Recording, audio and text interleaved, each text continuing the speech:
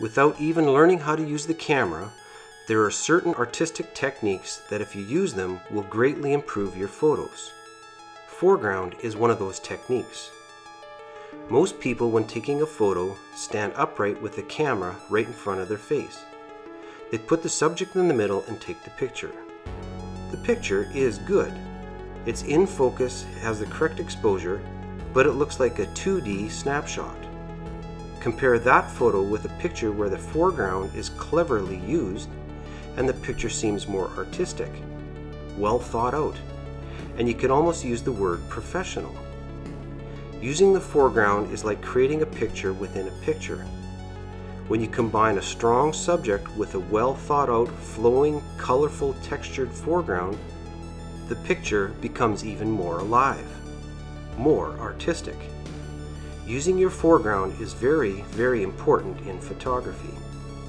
Here are a few tips when using the foreground in your photos. Use the camera to control the exposure for the background, but use your flash to control the right amount of light in the foreground. Second, get down as low to the foreground as you can. Put the camera as close to anything that looks like it could enhance your photo.